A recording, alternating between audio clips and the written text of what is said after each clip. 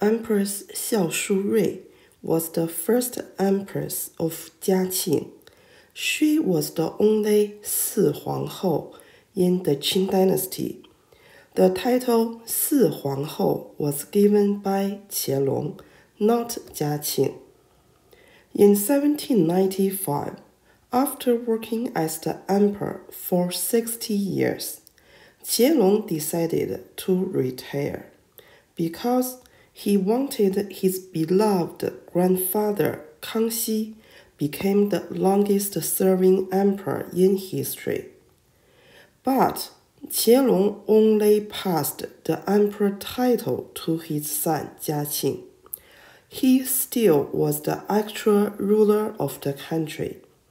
In Qianlong's imperial decree of declaration of the heir, he called it Jiaqing Si Huangdi and mentioned that to prevent Jiaqing from making mistakes, all important political decisions must be made by Qianlong.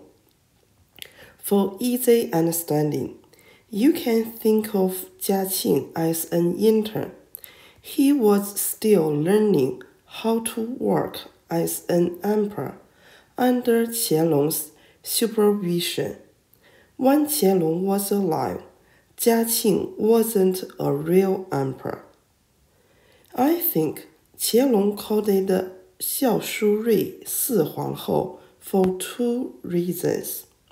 First, Jiaqing was called Si Huangdi.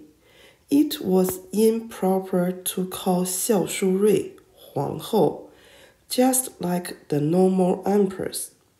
Second, Qianlong seems didn't like Xiao Shurui, although he personally chose this girl as his daughter-in-law.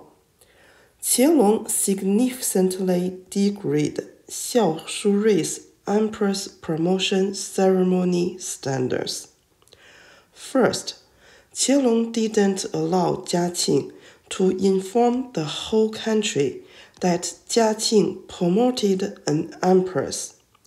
Second, Qianlong didn't allow Jiaqing to forgive convict, convicts. Third, Qianlong didn't allow Xiao Shurui to accept the congratulations from the imperial women, the noble ladies, and government officers.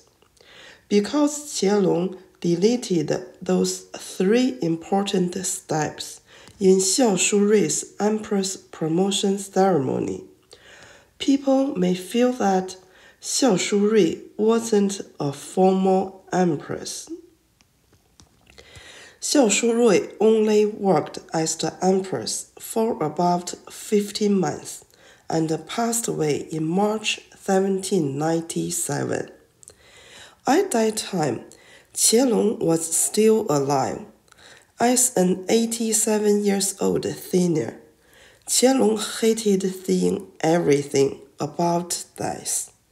So, Jiaqing had to degrade Xiao Shurui's funeral process to consort standards. 100 days after Xiao Shurui passed away, Qianlong promoted Jiaqing's noble consort, Niu Hulu Shi, to the empress. But before the formal promotion ceremony, Niu Hulu Shi managed the inner court using the title of Imperial Noble Consort. Thank you for watching this video. See you soon.